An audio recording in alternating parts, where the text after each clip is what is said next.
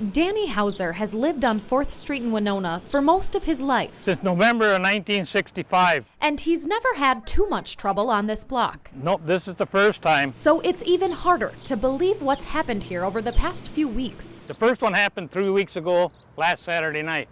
But now there's two more in there from last night.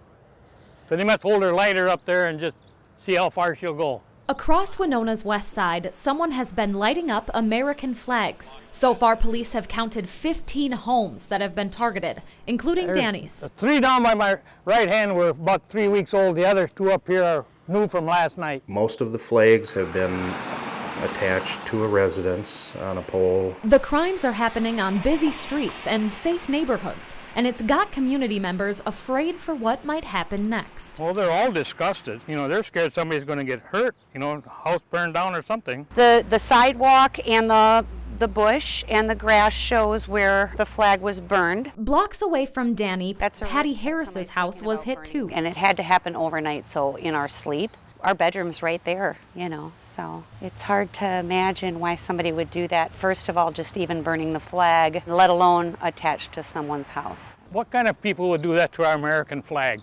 No respect. Danny's appalled by the action, but he's not backing down from his beliefs. We're going to put up a new flag maybe tonight and the camera and see what's going on. And officers are stepping up enforcement with the hope of catching the culprit before more damage is done. Despicable.